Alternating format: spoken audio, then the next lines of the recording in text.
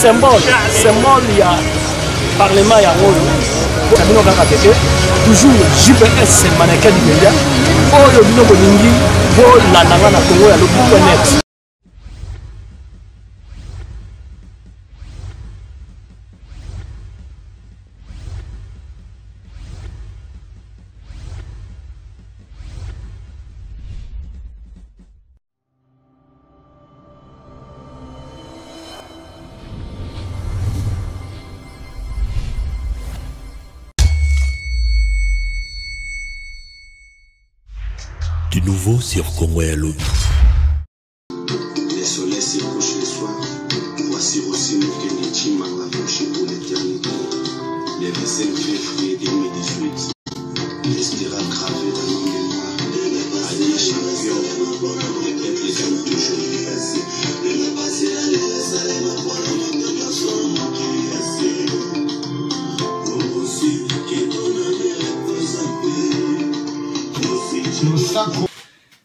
Merci, merci, merci. Toujours JBS Mannequin du Média na kati ya 3W Congo ya lobi.net à partir ya Ottawa ndenge na uta koyebisa bino ke euh, nakoleka nakoloba. Merci euh, ndeko na ngai tolobela vie ndeko na ngai ya kati partage video oyo ezali ndeko na bino jbs maneke du media trop c'est trop uh, eh, namoni pacheli mikobi merci ndeko na ngai pacheli merci mbote uh, lukusa gigi mwana toronto malembe TV, merci Luciane Rossam, merci Rachel, Rachel Kalena, Merci. So bino bozo kanga pardon bosalela nga nanu mwa ba j'aime j'aime j'aime j'aime ceux qui sont eza bien partager vidéo yo sans ceux qui eza bien nayeba eh, puisque eza direct lelo tokolobela makambo merci euh, namoni merci merci son eza bien uh, toza together ya kaka ndenge balobaka na anglais euh, napesi baninga nyonso balingaka jbs maneke du média euh, bambote epe euh, baoyo balingaka ngai te vraiment bosala tout mpo bolinga ngai puiske ngai naza mopanzi sango nazali mpo na parti politique te nazali mpo na parti civile donc ngai nabundelaka peuple mosala oyo nabandi yango banda 2001 bamisusu bawuti kokɔta mikolo oyo tanke basi bazwi deja bamikro bakomi kolekisa bamessage mosusu oyo ezali disponible mpenza mpo na bato te mpo na kopesa embrouillement na kati ya media oyo mpe na kati ya communauté congolaise nde yango wana napesi bino nyonso boyamba losako boyamba ingeta na bino na kombo ya nzambe oyo asali likolo asali se tanke nzambe asali likolo na se nani oyo biso tokoki kokumisa lisusu tokokumisa kaka jésus christ oyo aya kokufa na kati ya mabele na biso na kati ya kimusuni ro, rosi, roki namoni yo uh, uh, jacques jacques jacques jacques konge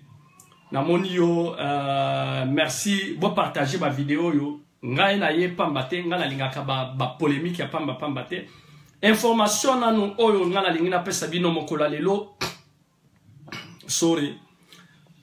tozali eh, message euti kokomela ngai na table na ngai oyo ya congo ya lobi net dimanche oyo dimanche oyo wana eza nanu B'annonce, annonce dimanche oyo ya le 18 mars. Donc euh, le 18 mars messe ekozala messe ekozala ya kafu kafu awa na kati ya Ottawa na na kati ya Ottawa na paroisse Marie Mediatrice na paroisse wana oyo biso tokutanaka kote ya vanier nde messe ekozala wana na 15 heures 15 heures juste messe ebandi déjà bainvite na biso ekozala uh, invité oyo biso tozozela bakokoma mikolo oyo kala mingi te d'ici dimanche bakozala déjà basi bakomi déjà na kati ya terrain ya ottawa na canada mese ekozala ya makasi tobengisi bino boya ebele ebele ebele puiske invité na biso ekozala mpe na conférence après messe conférence mpe ekozala toujours na kati ya paroisse médiatrice euh, invité na biso ekozala monseigneur euh, monseigneur ambongo nde ye nde moto akozala akozala na biso ye moto azali invité oyo alongwe na kinshasa akoya na ekipe na ye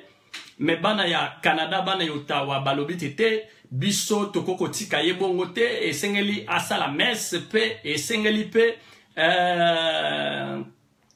esengeli mpe alekisa mpe mwa conference na kati ya paroisse oyo ngai nayebisi bino donc euh, messe ekozala na 15 heures dimanche dimanche oyo le 18 bana ya ottawa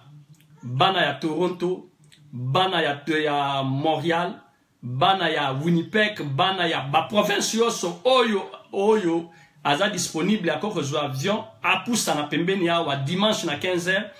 tokozala na monseigneur na biso oyo ya sika oyo azokoede ndeko na biso papa cardinal mosengo uh, fridolin uh, mbongo akozala na biso dimanche na 15 heures sans kobosana ngai moko jbs maneke di media nakozala na kati ya attaque euh, nakozala na micro na nga wana sur place oyo nyonso azolinga koya kodefendre couleur ya congo aleka interview ngai nakozala na bino na ekipe na ngai mobimba ya congo ya lobi tokozala wana ekozala direct mpe kamera ekozala wana oyo aza na mposa ya koloba aprepare deja koloba puisque camera ekozala sur place alors euh, nde eloko wana ngai nalingaki napesa nanu mwa annonce napesi annonce mpe mpo na baninga nyonso oyo bazolinga kocontribue mpo na problème ya ya bavictime oyo bazwaki mokolo ya le 25 février déjà équipe déjà ya ba patriote ba combattant batie deja deja makambo oso bavideo totalisaki bino oyo euta koleka oyo oso aza na besoin ya kocontribue bocontribue puiske ngai moko jbs maneked media congo ya lobi naza na kati c'est-à-dire information nyonso oyo ekoleka ngai nakotalisa bino kamera ekolakisa bino mbongo kombie ekoti mbongo combien eh, oyo toza nango na maboko epe tokolakisa bino mpe eh, tokolakisa bino mpe ndenge nini baninga bafuti bambongo na bango ndenge nini eh, montant biso toza na yango depuis ngai nazalaki na province oyo ya manitoba année passée na 2016 ezalaki kaka ngai nazalaki kaka na kati ya makambo ma ya contribution tocontribuyaki au moins 2000 dollars oyo totindelaki ndeko na biso fabien eh, mpo na kokende kinshasa ramses igwe donc eh, totindaki 2000 dollars nalakisaki yango ndenge mbongo ebanda kokota mpe ndenge mbongo tobimisaki yango ndenge totindelaki yango mpe ndeko na biso eh, matungulu mbongo ekomaki bien tant que ngai media naza na kati oyo nyonso akobimisa 1 dollar na ye tokolandela yango te na suka nakotalisa bino te ndenge biso tokoki kokotisa yango na poste ndenge nini tokotindela ndeko tokoluka nano tokontakte nano ndeko na biso elezer puiske ye alingaka susu te ndenge nini akozwa mbongo me biso tokosenga na ye ameka kotya mai na motema oyo nyonso ekokomela biso na maboko tokomeka kotindika mbongo wana pour le moment tofongoli déjà kaye moto na moto abenga numero ou bien oyo ya congo alobi ou bien abenga fourmi rouge ou bien abenga claudio claudio dinganga donc ezali mpo na canada mobimba tant que media eza na kati ya masolo moto abanga te mbongo ekobunga te moto akolia mbongo ya moninga aza te tokoluka ndenge nini mbongo wana topartage yango na 4 eh, famille oyo ezwaki likama c'est-à-dire mibale batiki biso mibale oyo mpe bamisusu moko ya mwasi oyo azali na problème ya gaz oyo ezwaki ye na libele na ndeko na biso oyo bakataki loboko donc wana eza nano message important oyo esengeli eleka annonce wana esengeli eleka nasengi na baninga nyonso oyo bino bolingaka kongo ya lobi e jbs maneke du média napesi bino nyonso salamu salamu salamu félicitation na baninga nyonso oyo bazwi deja makambo bopartage video oyo to ede baninga baninga oyo bazwi likama esengeli to, to, to, to ede bango mpo topesa mpe baninga mosusu oyo bazali balobi baza mpe babundeli oyo barosi oyo baza nanu na vie bazala mpe kaka na courage nde yango wana baninga oyo babanda koluka place nini oyo bakoki kobanda kotindika mbongo eh, batindika mbongo babenga kongo ya lobi ou bien babenga euh, fourmi rouge ou bien babenga euh, claude dinganga merci merci sikoyo tokoti na kati ya lisolo mpenza lisolo nga nayebisi bino oyo mpo na problème ya média namoni ke Euh, bandeko na biso oyo ya media euh, bokomi koextrapole bokomi kolekisa ndelo puiske media ezali place moko oyo moto akendaka na source mpo arécupere information mpo apesa bino mpo boyeba information wana nini elekaki na kati ya conference nini oyo ezalaki na kati ya ya journée wana nde yango wana ngai nayebisaki bino ke te sujet ezali totika intox sur ndeko elezer ntambwe eh, mpe na bajournaliste oyo patriote oyo bazobundela mboka soki journaliste abimi place oyo information eza te bino bokoki koyeba information te tant que journaliste abimi abimisi kamera na ye biso oyo bajournaliste bapatriote place oyo makelele ezali biso tokomema kamera na biso tokokende nango mpo tozwela bino bainformation mpo totalisa bino ke likambo oyo bino bozosala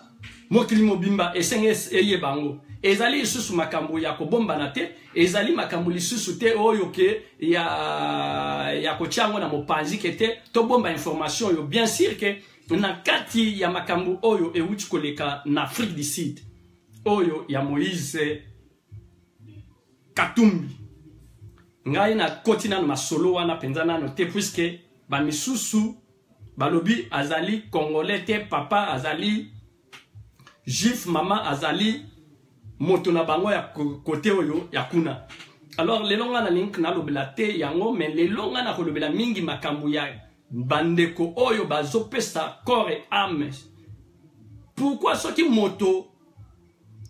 na ere malamu bozobetele maboko me na ere oyo bino bobino boza na bakokoso bokomi kofinga ye bokomi kobenga ke ba biso bapanzi sango toza ba collabo journaliste mosala journaliste ou bien chroniqueur ou bien eh, moto ya panzaka sango azalaka au milieu du village na au milieu du village c'est-à-dire azali soki kote ya PPRD soki babengi ye aya kocouvrir événement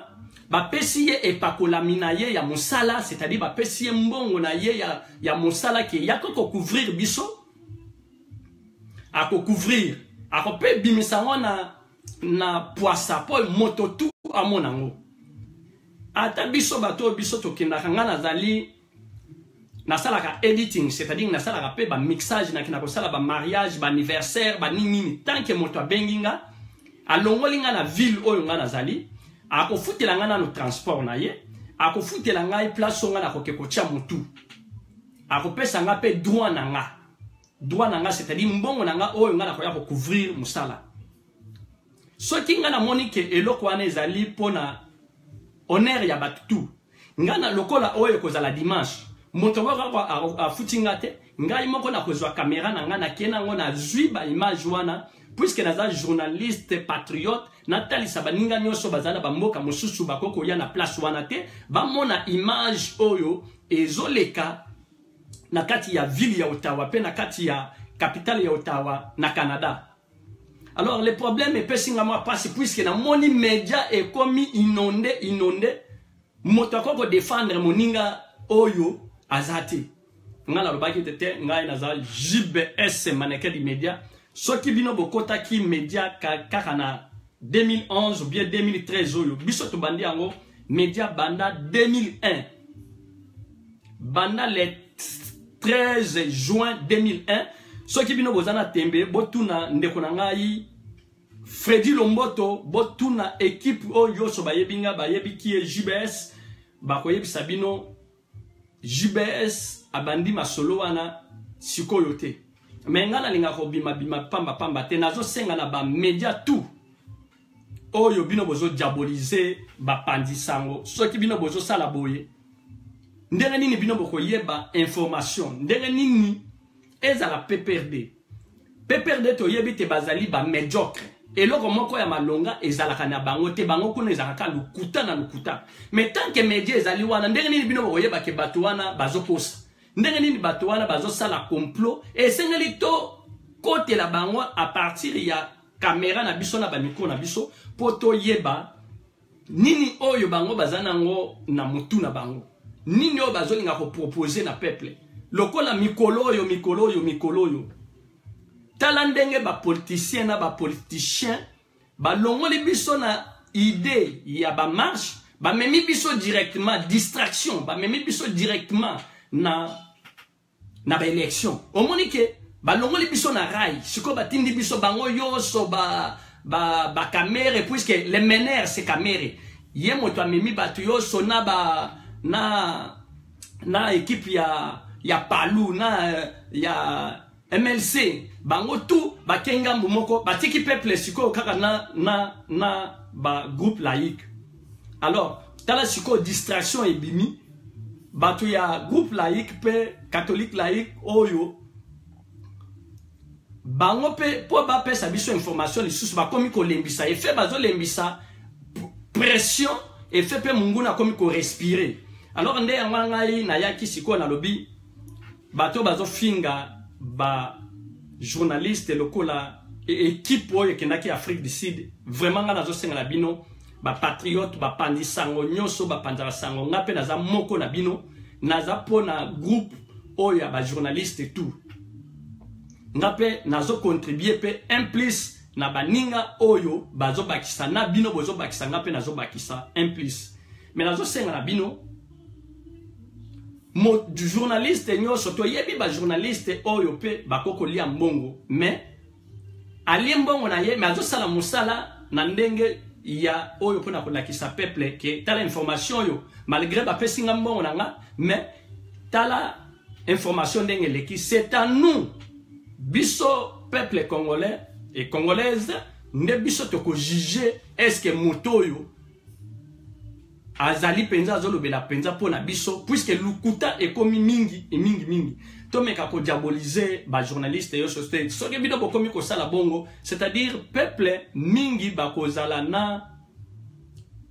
na isusu na bomoko te namoni biso bajournaliste tokomi kosepartage tokomi ko oyo puiske azali azaka pire oyo oyo aza pire oyo aza pire oyo oyo azokotela oyo azokotela ngai nazalaka mpo na moto te ngai naza mpo na moto te puiske moto moko akoliesa ngai te moke oyo ngai naza na yango oyo ngai naza na yango moko mpe bino mpe bokozala na yango me moko akosombela ngai motuka te mpo aya kokorompre ngai puiske nasi nasimba bamituka natambola na bamituka ya ndenge na ndenge ngai jbs nalata na ndenge nyonso moke oyo nzambe apesi ngai ya mwa poche oyo soki omona nano ata 50 000 te ngai naleka yango alors moto nyonso ya canada aza na mbongo oyo akoki kokende asombi mpe motuka asombi biloko nyonso me nakosenga na baninga nyonso oyo bazo namoni media etoki elezer ntambwe kolabo bato oyo euh, badecevoir biso bakodecevoir bino ndenge nini bango balandi information place oyo information bazopublie bazo, bazo information bazwi bakamera na bango bakei bakei mpo na kolanda information mpo batalisa biso information bien sûr à partir ya lelo partir bakotaki à partir afrique du sud na jobourg information mpenza réelle information oyo mpenza eleki mpenza tozwi yango nano te information mpenza video oyo ya, ya bien mpenza kete ebandaki boye esukaki boye tomoni yango nano te alors nde yango wana eloko ngai nalingi nayebisa bino ngai nabimisi kamera mpo na koyebisa bino kaka ke te botika kodiabolize bajournaliste oyo bakendaki afrique du sud bango ba invite bango mpo na kokende ko couvrir sorry événement donc tant que bake ko couvrir événement bake na cadre ya mosala soki balie mbongo nde tokoyoka na monoko na bango moko o to soutenir moïse katumbi obie to soutenir falani obie to soutenir moto boye nde tokoyebaki ah, moto oyo do akendaki afrique du sud ezalaki mpo ake couvrir euh, euh, akende kocouvrir euh, événement te mais akendaki nde kobakisa un plus mpo na moïse ngai naza mpo na moïse te naza mpo na moïse nayebi ye nano te eloko moko te mpe nazalaka pour bango te puiske ngai nazalaka pour bapoliticien te ngai nazali mpo na peuple ngai nabandi komba oyo lelo eza deja 17 ans mpo na kobundela peuple puiske nyonso oyo nzambe atindaki ngai na mokili nakokisi yango nini oyo ngai nakozwi te esali kopesa nzambe merci alors botika ba intox intox oyo bajournaliste oyo bino bobandi mikolo oyo bokomi moto nyonso soki akei lelo soki moïse aye awa soki ngai nakei kocouvrir événement apesi ngai makambo na ngai nakei en tant que mosala na ko couvrir yango te po bino nde ba ba combattant ou bien ba journaliste oyo lokola euh, bozaka liboso ya batele moye nga nakende te te nga nakokende mosala na nga nazwi bainformation lokola information ekozala dimanche oyo ya ndeko na biso euh, monseigneur euh, fridolin fridolin euh, ambongo akozala nga nakozala na kamera na nga wana ezala mbongo ezala mbongo te me ngai nakoki kozwela bino information mpo na kopesa bino alors eh, information wana bato mingi babengi nga balobi jbs maneke di media tomoni na kati ya media bajournaliste ba, ba mosusu bazoloba ke moye nani mm, ndeko na biso elezer ntambwe atrahir ako trahir ndenge nini na ba journaliste mususu oyo bakendaki toyebi na kati na bango wana ba journaliste ya supu bazali toyebi yango nga nayebi yango so nalobi na bana kotanga na kopanza mpuke tu bato oyo baza ba, ba journaliste ya, ya supu Mais ndeko na biso nga nazo défendre ba ndeko bazo kende puisque nga naza moko na kati na bango. Tosalaka musala moko. Nayebi ndenge nini etambolaka. Donc lelo soki nga nakeyi ko couvrir moto ou bien nakeyi ko couvrir euh, Fayulu ou bien nakeyi ko couvrir euh, euh, ndeko na biso euh, nani euh, euh, oyo ba misusu oyo ya inc vital kamere donc ngana mpe nakomi kolabo non non non non wana wana biso tokotambola bongo te bandeko na ngai bapeuple congolais congolaise eza bongo te bandeko na ngai bajournaliste tozonga nanu nsima totala nini oyo ezali lelo soki elezer alansaki mwa bavideo soki alingi okende te tolingi tolinga komona ata mwa video moko ata interview ye kutu akei azwi makambo oyo bino bokomaki na bainternet oyo bino bokomaki na réseau sociaux arécupere yango bainformation na bino ake kotuna yango moïse katumbi ake kotuna moïse katumbi te tala na media eza boye yo passeport oyo obimaki na yango ezalaki passeport nini soki alingaka kokende te moto mosusu alingaka kotalisa biso bilili wana aza te soki ye alingaka kokende te tolinga komona mpe bainformation ya baprofesseur oyo mosusu euh, alekisaki bango te soki alingaka kokende te tolinga komona mpe bato oyo abimaki kaka mbala moko boye alingaki kokontakte moïse mpo asenga moïse kelke abimisa mbongo mpo ye asomba manduki mpo ebaki kobunda te donc totika moto na moto na mosala na ye tant que biso bato oyo ya media tozopesa bino information bobanda kodiabolize biso te à tout moment na biso bajournaliste toza na mwa motema motema motema ya soso motema mabe nde yango wana congolais azofungwama te azofungwama te mpo motema mabe biso na biso ezala biso bajournaliste ezala bapeuple ba tokomi motema mabe ya koleka alors euh, nde yango wana ngai nalingaki nayebisa bino totika kodiabolize mosala ya baninga bino ere bino bozoki kosala mosala na bino biso mpe tozoki kosala mosala mpo na kocouvrir baévénement tant ke biso tozokende kocouvrir baévénement ezali te ke biso tokomi ba tokomi bakolabo nayebi très bien na kati ya média na réseau sociaux bamediocre bakoti mingi bazopesa baintention ya mabe sire baninga mosusu oyo bazosala mosala na bamarshe nyonso bitumba e, masasi ezobetama me tozomona ekipe ya ndeko na biso elezer ezokota ezobimisela biso baimage estce yo moto oza na poto awa oliaka bambala so balobi kita yo kokita esenga topesa moto oyo azosala mosala topesa ye bafelicitation ntanke nano akufi nano te lelo tozolela uh, rosi rosi chimanga ere azalaki na mvi bato mosusu babandaki kokota dute balobi te mbala mosusu aza moto ya pprd mbala mosusu alie mbongo azoya kodistraire bato mais atiki famille na ye atiki bomoi na ye na miso ya bato tu ke ngai nazokufa mpo na peuple le peuple gagne ndenge bango mpe baleze ntambo mpe lisasi mpe ekoki koleka eloko moko ekoki koleka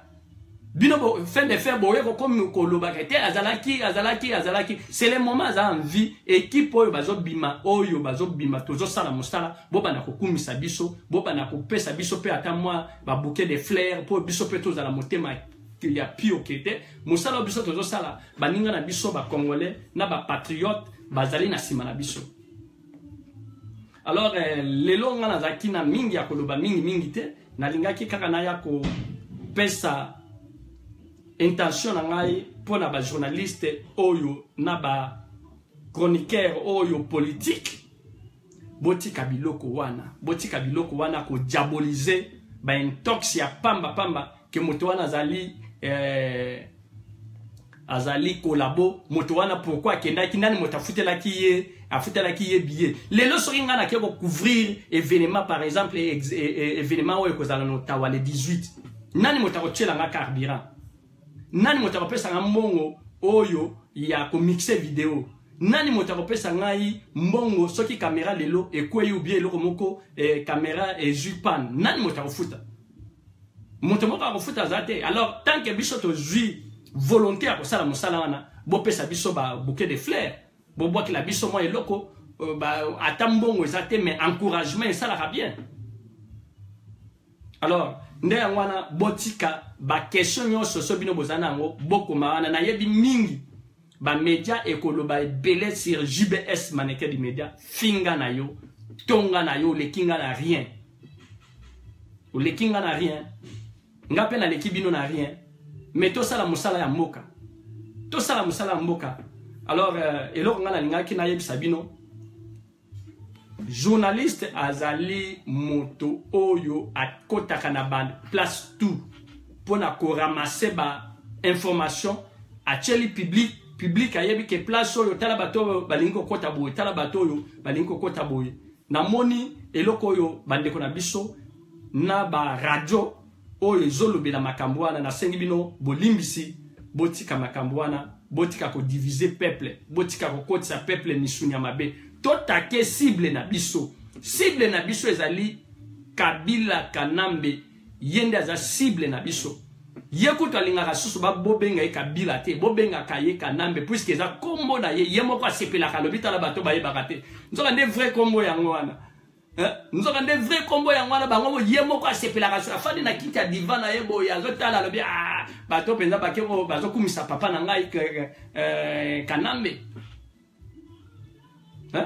alors botika nanu botika nanu tozali na moment epe bato tala distraction ya monene oyo ndenge bamemi biso balongoli biso na rai bazomema biso na kote oyo na mopanzi tokende election nayebisaki bino ke na election wana nini ezolakisa te ba ordinateur nyonso wana ekozala kaka meme option ekozala kaka meme programme bakoya na 10 ordinateur batie baprogramme exact eza ya ndenge moko mais 1000 ordinateur oyo ekozala na nsima estce ekozala ndenge moko to take cible na biso to take cible puisque moto oyo soki azoloba verité lokola alobi verité bokomi kofinga ye